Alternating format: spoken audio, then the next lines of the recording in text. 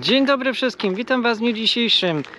Mam swój kubeczek z kawą i będę ją sobie popijał spacerując, dyskutując, opowiadając tutaj do was. Yy, I zaraz wam powiem w jakim temacie w ogóle. Tylko chciałem sprostować pewną rzecz. Ja od dawna jestem już w Bukareszcie, w Popeszti Lordeni, yy, ale vlogi, które powstają, yy, które nakręciłem wcześniej, to one są w większości z Polski i one się będą pojawiać jeszcze przez jakiś czas. Sam nie wiem do kiedy. Po prostu tam udało mi się zrobić bardzo dużo filmów, składam je na bieżąco i chcę, żeby jako pierwsze były gdzieś udostępnione. A ponieważ nagrałem tylko będąc w Polsce jeden odcinek z kawą, jeden poniedziałkowy, to resztę filmów muszę nagrywać już stąd i dlatego tak się też dzieje. Także kawka na drogę. A co w dzisiejszym filmie? Co chciałem Wam opowiedzieć? Mam swoje spostrzeżenia, mam swoje takie y, wyrobione trochę też zdanie na temat tego, jakie są ceny w górach. Trzeba o tym y, dyskutować, trzeba o tym dobrze, dobrze powiedzieć, żeby to wybrzmiało, bo górale to są jednak chytrzy, chytrzy górale, chytrzy, chytrze, chytrze. I to wszędzie w górach, nie tylko, nie tylko w Tatrach, nie tylko w Zakopanem, tam w szczególności, ale e, będę o wszystkim dzisiaj e, opowiadał, jak to jest, jakie są moje właśnie doświadczenia, bo ja wam powiem w ten sposób. Więcej dudków, więcej dudków, dudki muszą być. To jest po prostu gdzieś tam motto e, przewodnie, jakie im towarzyszy. Tak to jest. Zapraszam Was na dzisiejszy film.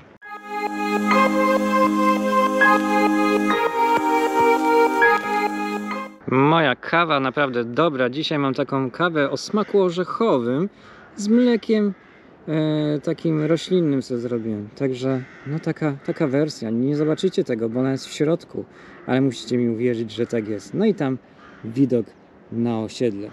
Powiem Wam ciekawą, może taką historię z przeszłości. Ja wiem, że ceny będą mocno nieaktualne, ale ja lubię porównywać do tego, jak to było kiedyś, jak to wygląda teraz.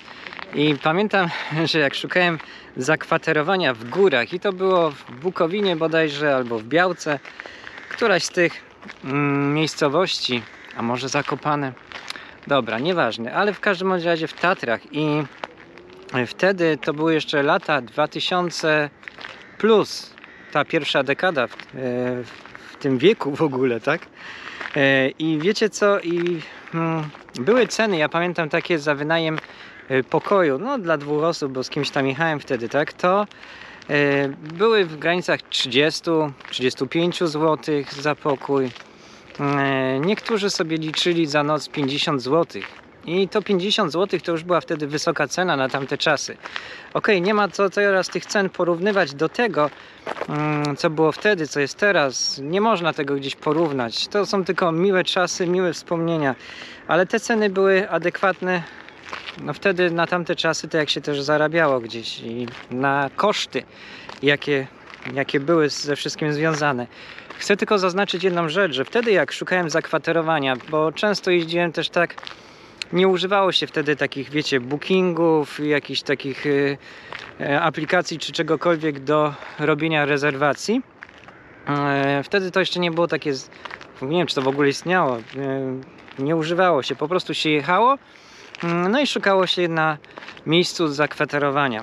I ja, będąc właśnie w jednej z tych gdzieś miejscowości w górach, mm, to pytałem po prostu okolicznych górali, no za ile mają ten pokój, e, jeśli można u nich wymienić i wymienić, wynająć.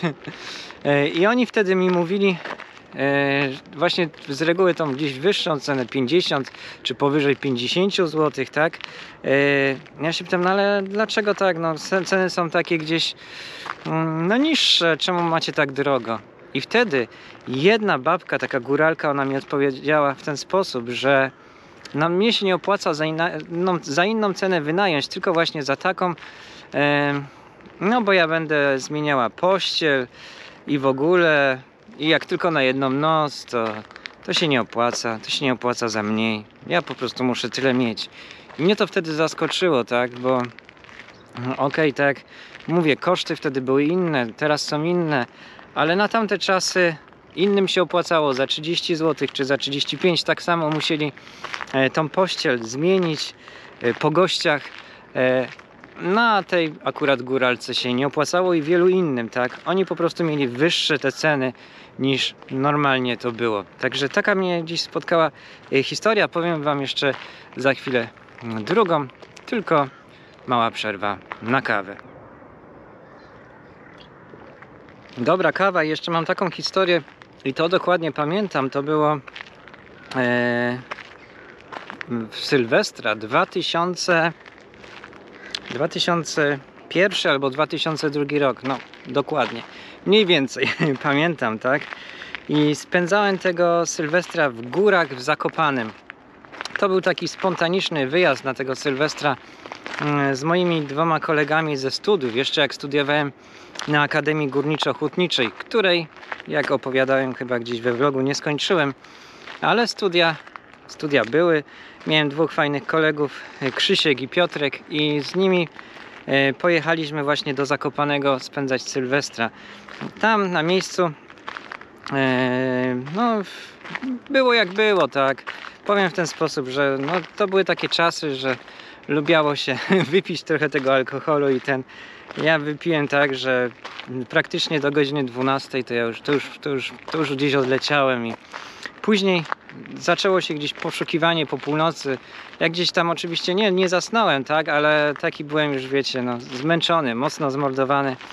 Mm, I zaczęliśmy szukać, no gdzie iść, czy, idzie, czy wracamy na pociąg. My nie mieliśmy żadnego planu wtedy. Myśleliśmy, że, że nie wiem, no po prostu albo że, że wrócimy pociągiem, albo gdzieś zostaniemy. Tak po prostu byliśmy spontaniczni, nie, nie wiedzieliśmy co i jak. I wtedy stwierdziliśmy, że znajdziemy sobie jakieś mm, zakwaterowania, ponieważ to był Sylwester. E, to był nowy rok. Nie było, nie było w ogóle pokojów, nie było niczego. Ludzie przyjechali.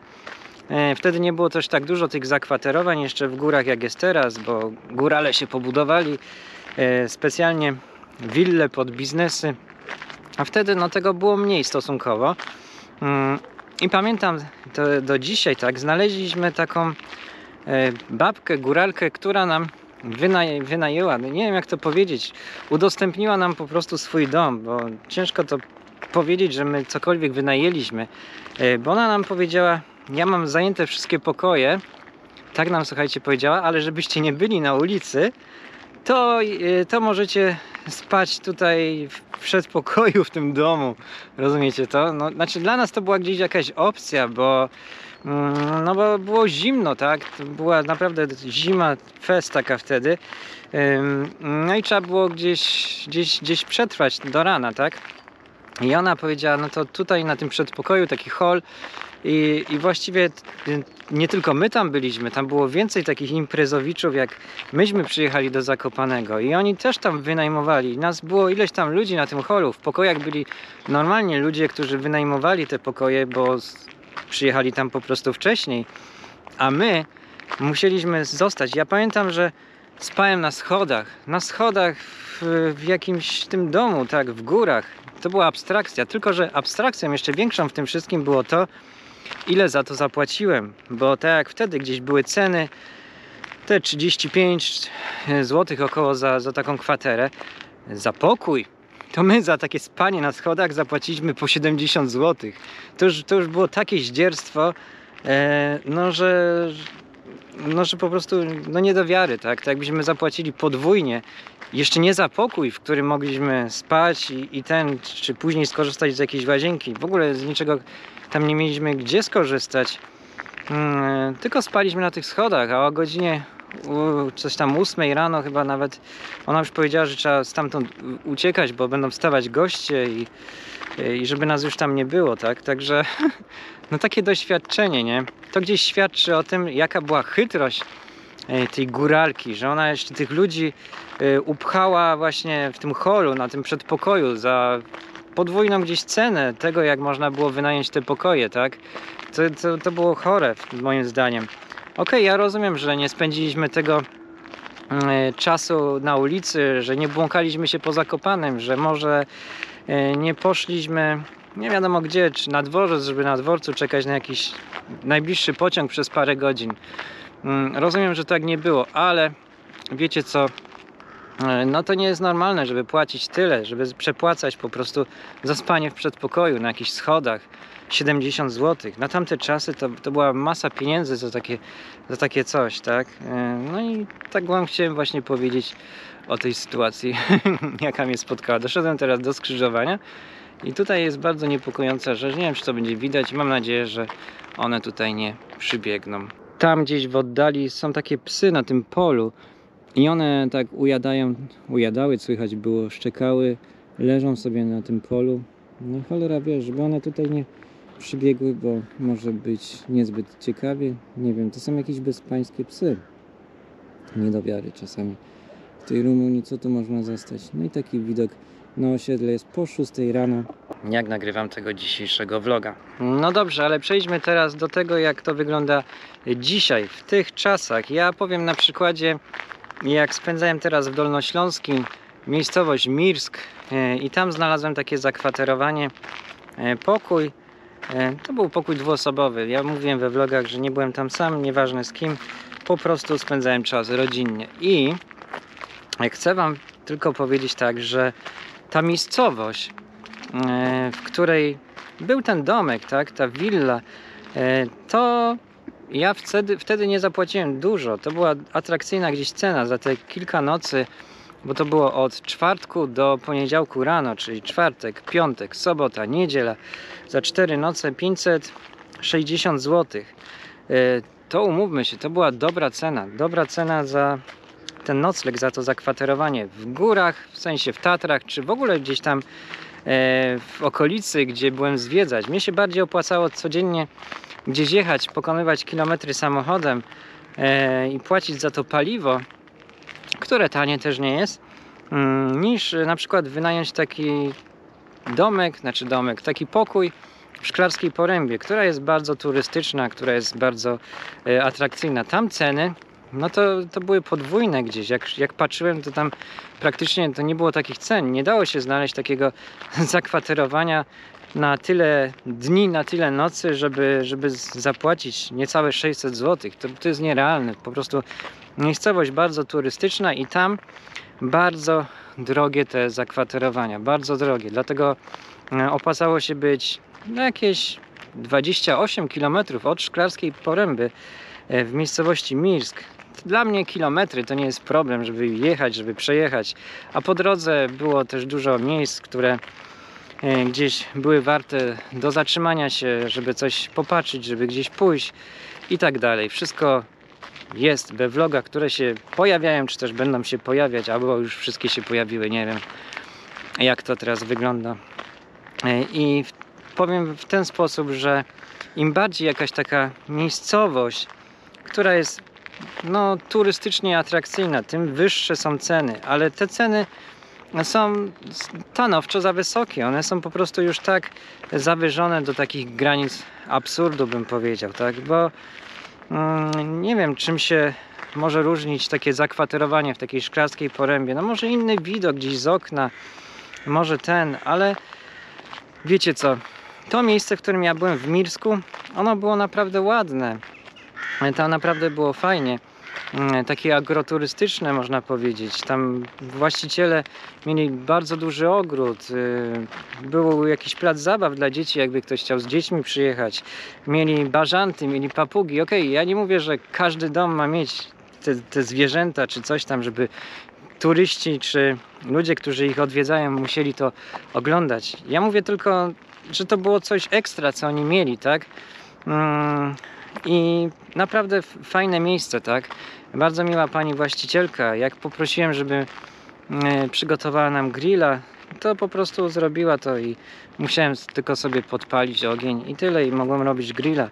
E, Także e, naprawdę ja się cieszę, że udało mi się znaleźć takie miejsce. Ja generalnie wychodzę z takiego założenia, żeby nie przepłacać, bo, no bo po co przepłacać za pewne rzeczy?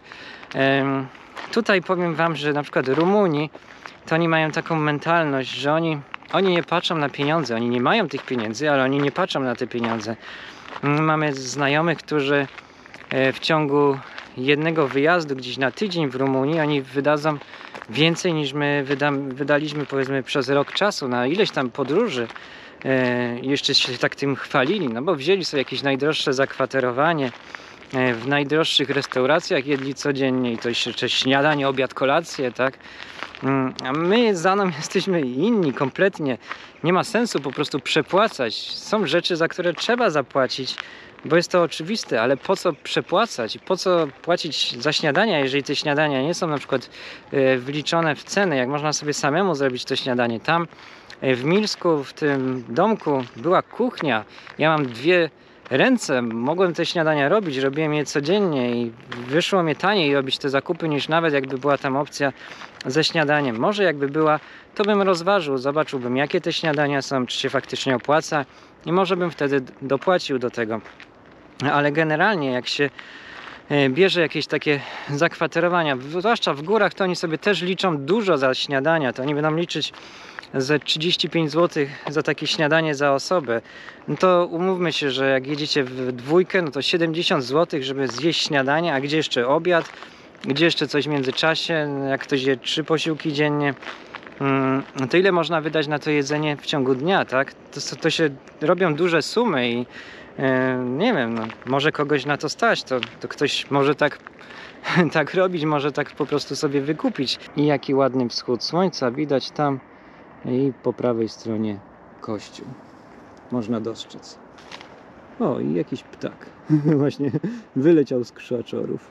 Kolejna rzecz, o której chciałem Wam powiedzieć, to są na przykład parkingi.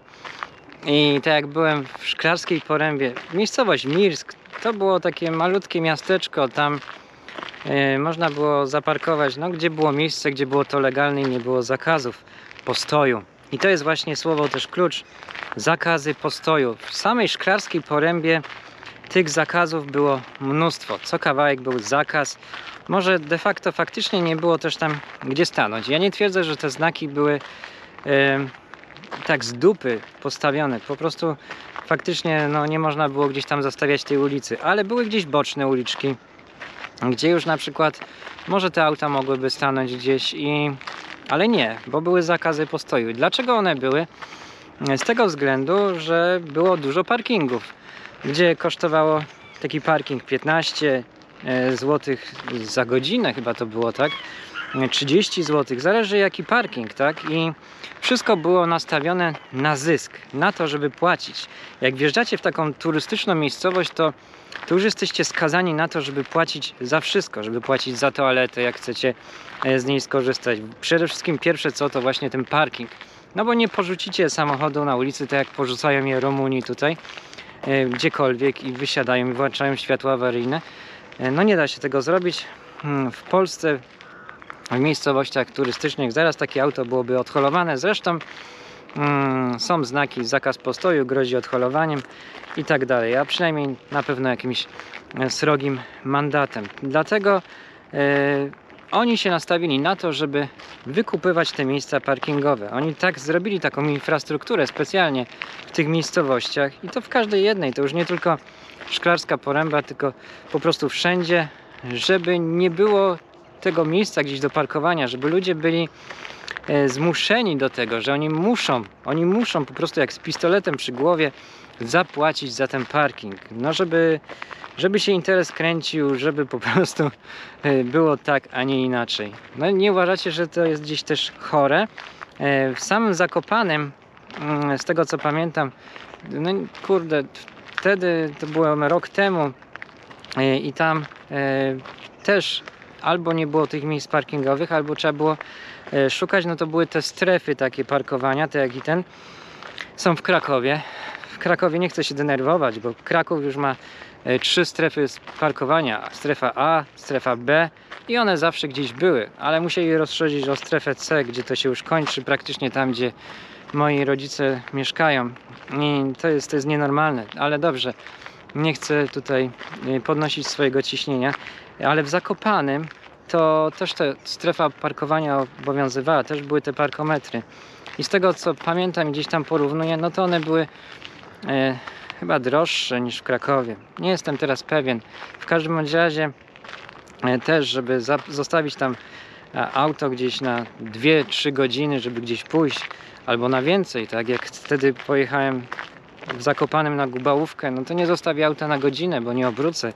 To też trzeba było słono gdzieś zapłacić w tym parkometrze, z tym, że i tak się to bardziej już gdzieś opłacało niż na przykład na tym parkingu takim, wiecie, gdzie woła jakiś parkingowy z wąsem, żeby was zaprosić, żebyście tam zostawili auto. W tych parkometrach już było ciut lepiej z cenami. Kolejna rzecz to jest też bardzo ciekawa, ciekawa.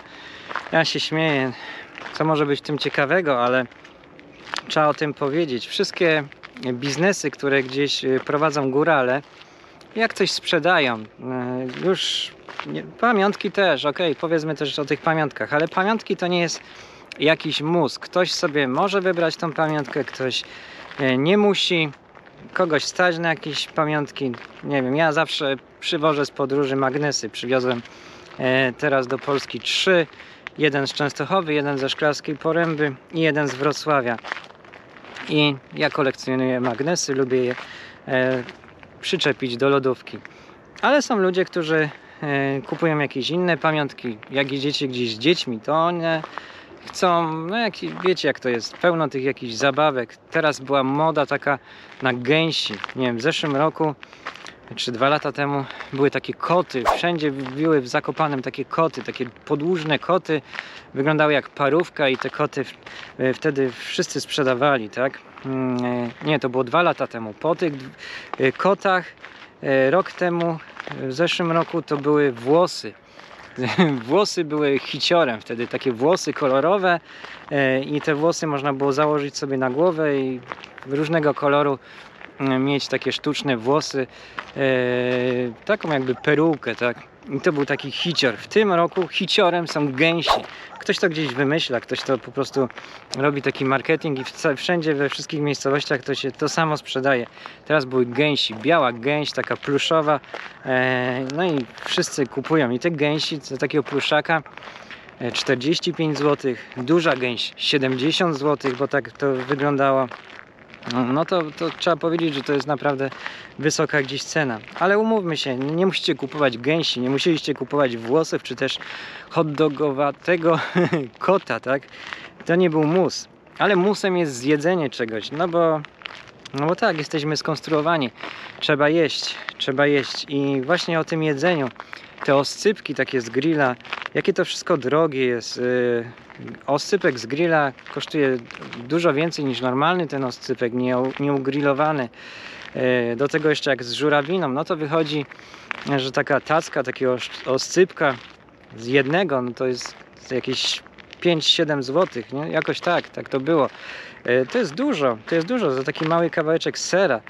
E, Strasznie się cenią, strasznie się cenią. Później jak patrzyłem te oscypki, takie, ile tam może być, no z 20 deko e, tego sera w takich trochę większym kawałku, to one były coś po 25 zł, 30 zł, zależy jaki ten oscypek.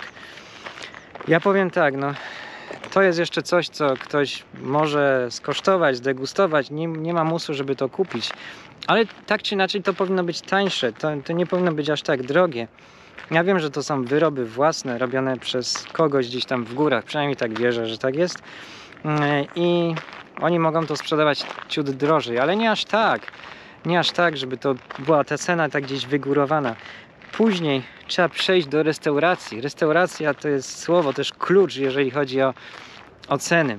To już po prostu jest e, abstrakcja też i do restauracji musicie iść, bo raczej jak ktoś jedzie w góry, e, nawet jak ja byłem w tym Mirsku, e, to ok, śniadania mogę robić, ale nie ma czasu na to, żeby siedzieć tam w garach i żeby gotować, żeby mieszać, żeby robić jakiegoś kotleta.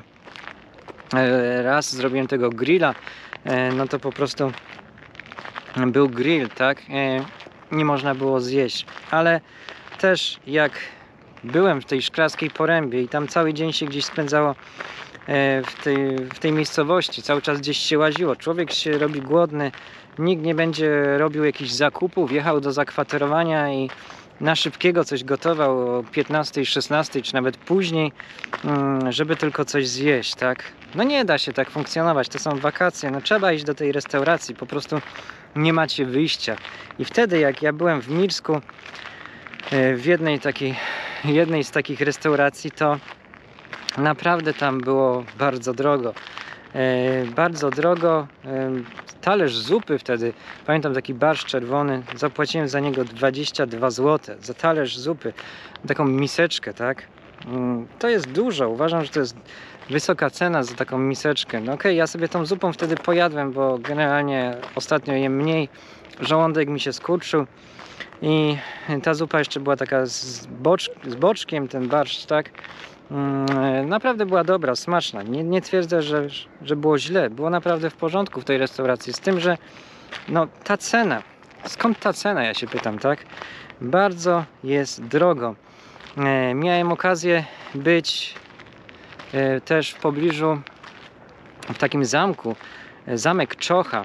No i po zwiedzaniu tego zamku, słuchajcie, pojechałem do restauracji e, takiej w pobliżu tego zamku, bo, no bo była oddalona niecałe 2 km. Tak mi gdzieś pokazywało na mapie. E, w ładnym miejscu położona e, i też wtedy akurat tam zamówiłem rosół. Miałem ochotę na ten rosół. Mieli naprawdę dobry ten rosół, ale też on kosztował coś tam ponad 20 zł za taką miseczkę tego rosołu. E, nie było to tanio. Nie było to tanio, a jak chciałem popatrzeć, popatrzyłem właściwie też na cennik e, tego, co było w menu, co oferowała ta restauracja, e, no to poniżej 50 zł za jakąś porcję dania takiego, no wiecie, to, to nie było co wybierać. Nie było co wybierać poniżej 50 zł.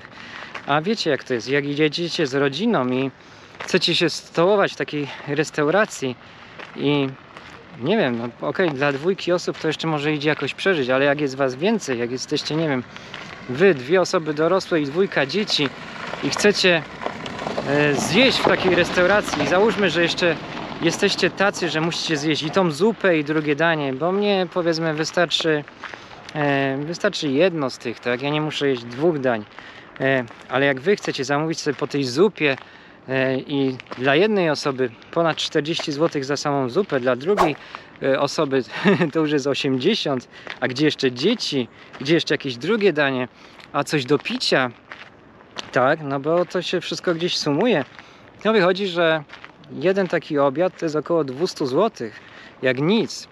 Jak nic, takie 200 zł, żeby na taki obiad wydać, na taką rodzinę. To są bardzo duże pieniądze. Pomyślcie sobie, ile moglibyście za te pieniądze kupić jedzenia i sami sobie coś przygotować. Ja nie twierdzę, że teraz tak, żeby znowu ktoś mnie nie łapał za język, że ten.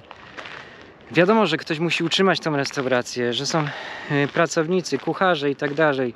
Kelnerzy, ale kelnerzy mają pensję z napiwków, to jest oczywiste, tak? Nikt nie płaci pensji kelnerom, chyba że jakieś takie ochłapy. Bo tak to wygląda niestety, taka jest rzeczywistość w Polsce, ale mm, no, są jakieś y, koszty, które ktoś musi ponieść. Ja to wszystko doskonale rozumiem, z tym, że gdzieś te ceny poszybowały za bardzo w górę. Za bardzo, to wszystko jest za drogie. E, Ja jestem zaskoczony też, bo widzę, że mimo to ludzi jest mnóstwo. Tu się mówi, że ludzie nie mają pieniędzy, że oni ledwo wiążą koniec końcem, a wszystko było pełne, wszędzie było pełno ludzi, e, wszędzie wszyscy zamawiali takie duże porcje wszystkiego i ten, a ja siedziałem o talerzu z zupy. E, Także jest to dla mnie też trochę zaskakujące, bo właściwie to ja już nie wiem, czy nas Polaków stać na to, czy, czy to nie wiem, nie wiem kogo stać na to wszystko, tak? Bo jak to widzę, to rzeczywiście było zatrzęsienie turystów, zatrzęsienie ludzi. Oni wydawali te pieniądze, chyba że jeżdżą na te wakacje e, biorąc jakiś kredyt i wydają wtedy wydają wtedy naprawdę duże pieniądze na takich wakacjach i się nie patrzą na to, ile wydają i jadą na tydzień czasu z rodziną w góry i powiedzmy biorą 5000 zł kredytu, no to wtedy faktycznie mogą tak szastać pieniędzmi, to wtedy je wydadzą spokojnie w ten tydzień czasu e, z zakwaterowaniem, ze wszystkim mm, i wtedy faktycznie to ma gdzieś logikę i sens. Nie wiem jak to jest. Możecie sami sobie odpowiedzieć też na to pytanie, napisać też w komentarzu, co wy uważacie, tak? Jak, jak to jest waszym zdaniem, czy ludzi stać na to? No bo jest tych turystów dużo, zwłaszcza w górach. Zwłaszcza góry są tak popularne. Ja powiem w ten sposób, że gdzieś chytrość tych górali, chytrość, bo to już jest chytrość, to widać jak nic. To nie jest to, że oni chcą się odbić po tych czasach, co mm, byli zamknięci. Byli zamknięci, bo jeden z drugim ministrem e, na konferencji e, PowerPointem mm, tak, zamknęli biznesy ludziom. I to nie jest to, że oni chcą teraz nadrabiać straty. Oni po prostu są chytrzy, oni zawsze taki, tacy byli. A te przykłady, o których ja Wam mówię e, z przeszłości, jak spałem na schodach za 70 zł, jak babka powiedziała góralka, że ona, że jej się za mniej nie opłaca, bo, bo ona musi pościel zmienić, bo coś tam, bo ten. To gdzieś świadczy o tym, że cała ta mentalność tego społeczeństwa, która mieszka w górach, która prowadzi te biznesy, jest taka od zawsze. To nie jest to, że oni nagle byli poszkodowani, e, bo cała ta branża biznesowa została dotknięta przez restrykcje. Nie, to nie, nie o to chodzi. Oni zawsze byli chytrzy. Wy zawsze, górale, byliście chytrzy. Byliście tak chytrzy do, do takiego stopnia chytrości, to już jest stopień, stopień po prostu zaawansowany, stopień zaawansowanej chytrości jesteście coraz bardziej chytrzy i coraz bardziej te ceny robicie wysokie, coraz bardziej ten, ale przyjdzie taki moment, wydaje mi się, że, że już może nadchodzi nawet, e, że przestaną ludzie jeździć. W tej chwili e, znaczy powiem tak, no, mówiłem przed chwilą, że dużo ludzi było i tak, ale porównując też to, jakie były zatrzęsienia tych ludzi w przeszłości, że nie dało się nawet stopy postawić na krupówkach. Teraz też jest dużo ludzi, ale wydaje mi się, że stosunkowo mniej i że ludzie generalnie wybierają, to gdzieś jest tak e, zauważalne, że oni wybierają, taki trend jest, żeby jechać na te wczasy za granicę, bo po pierwsze mają zapewnioną pogodę, pogoda jest zawsze za granicą, e, gdziekolwiek by nie pojechali. Jaka była pogoda, jak ja teraz przyjechałem w ogóle do Polski, przyjechałem do Krakowa, była piękna jesień tego lata, e, było 13 stopni, 13 stopni. Mój serdeczny kolega, szwagier Andrzej, on wtedy pojechał do brzegu, on jechał w ścianie deszczu nad morze i tam pierwsze dni to, to nie wiedział jak wyjść z tego zakwaterowania, bo cały czas lało, wiało, było zimno. I wyobraźcie sobie, że macie tego urlopu mało, bo nie każdy może mieć dużo. Jedziecie na taki e, tydzień wakacji, z czego połowa urlopu to jest 13 stopni, czy tam 17 nad Morzem Polskim. Dosyć ten Bałtyk jest wiecznie zimny, on zawsze był, był, jest i będzie zimny. W tym morzu nie da się kąpać normalnie, chyba że ktoś jest takim morsem. To jeszcze e, to jeszcze ta pogoda taka deszczowa i jeszcze wszystko drogie nad tym morzem. Ta, ta ryba na tym starym oleju śmierdzącym smażona, te fryty, te gofry, to wszystko i to wszystko takie drogie jeszcze takiej podłej jakości, tak? Dlatego ludzie wybierają za granicę. Wybierają, wybierają, żeby jechać właśnie gdzieś poza Polskę na wczasy, jest taniej. Ja uważam, że wczasy w Polsce to są teraz jedne z droższych, to są wczasy dla ludzi, e, no, którzy gdzieś tam albo oszczędzali na to wcześniej specjalnie, albo i nie, nie brali właśnie tych kredytów, albo, albo nie wiem co, albo po prostu ich stać na to.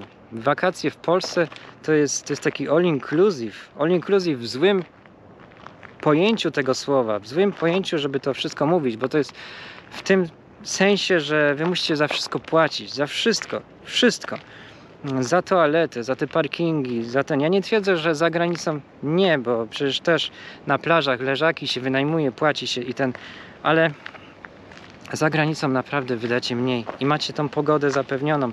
Pojedziecie do Bułgarii, będzie słońce, tam nie będzie e, 13 stopni. W takiej Rumunii mamy takie upały, to jest piekło teraz, tak? Piekło, dlatego ja też nagrywam te vlogi rano. 6 rano idę nagrywać, bo jest po prostu najlepszy czas na to, żeby nie było też gorąco. E, I tutaj pogodę bę- będziecie mieć zawsze. Będziecie mieć zawsze. Tam jak tutaj jak przeszła burza, ulewa, trwało to może godzinę i ten e, i po deszczu, tak? I po deszczu. A nie było to tak jak w Polsce. Tu jest całkiem inaczej. Tak samo na jakieś Węgry. E, to też jest fajna opcja na wakacje. Te wszystkie jakieś kraje e, afrykańskie, jakaś Tunezja, jakiś Egipt, jak już z biura podróży, żeby lecieć, czy też Grecja, to macie kierunki zapewnione z pogodą i nawet z takim przelotem, z podróżą tam i z powrotem wyjdzie Was taniej niż w Polsce. No taka jest przykra dziś rzeczywistość, tak to wygląda. E, Kto do tego doprowadził? Doprowadzili to właśnie ludzie, którzy są chytrzy, chytrzy, więcej dudków, więcej pieniędzy, więcej wszystkiego i tylko zdzierać za wszystko, e, za wszystko od wszystkich i niech płacą, niech bólą. Tak to jest. Tak to jest, drodzy widzowie. Rozgadałem się dużo. Będę kończył pomału tego vloga. Łyczek kawy i szybkie podsumowanie. Podzielcie się swoimi opiniami, czy wy wybieracie wakacje w Polsce, czy e, za granicą. To jest po pierwsze, jakie są wasze doświadczenia? Czy też uważacie, że na przykład takie wakacje w górach, w polskich górach, niezależnie które, która część to Polski już jest, czy faktycznie tam jest e, drogo, czy ja coś znowu przesadzam, czy te płacenie za to wszystko, za te toalety, za te parkingi, czy to mogłoby być e, tańsze, czy dałoby się, żeby to było tańsze, żeby po prostu każdego gdzieś tam było na to stać. Nie wiem. Jakie są Wasze opinie e, z tymi restauracjami też? Czy to jedzenie, czy ja przesadzam, czy to są normalne ceny, żeby 50 zł to gdzieś była taka cena wyjściowa, żeby coś kupić w restauracji za, za jedno danie. Drugie danie tutaj mówimy. Czy ta zupa za ponad 20 zł, czy to jest normalna cena? E, Co jeszcze? Po prostu tam słychać kogoś z jakimś urządzeniem. Po prostu wyraźcie swoje opinie pisząc, tak? Czy ja znowu coś przesadzam? Przesadzać to można kwiatki, ogrodnik, tak? Ale tak powiedziałem, jak myślę. Takie są gdzieś moje doświadczenia i chciałem to po prostu wszystko ująć w tym dzisiejszym vlogu. Tak jak mówię, e, możecie mieć inne zdanie, nie musimy się gdzieś zawsze zgadzać z tym wszystkim, ale akurat jeśli chodzi o ten temat, to jestem bardzo ciekawy, czy myślicie podobnie, czy myślicie inaczej. Jak zawsze będę czytał, co piszecie. Tyle z mojej strony. Jestem już tutaj na tym osiedlu. Czas wracać do domu. Kończę tego dzisiejszego vloga. No i oprócz Waszych wypasionych komentarzy, opinii z tym związanych z tym dzisiejszym tematem dzisiejszego vloga, to zachęcam Was do subskrypcji tego kanału. Oprócz tego pamiętajcie o pierdółkach typu łapki w górę. No i do zobaczenia w następnych vlogach, filmach, kiedykolwiek będą się pojawiały. No i życzę Wam miłego dnia, wieczoru, kiedykolwiek będziecie oglądać akurat ten dzisiejszy. Tyle z mojej strony. No i żegnam się już definitywnie. Papa. No i oczywiście w drodze kawa. Papa.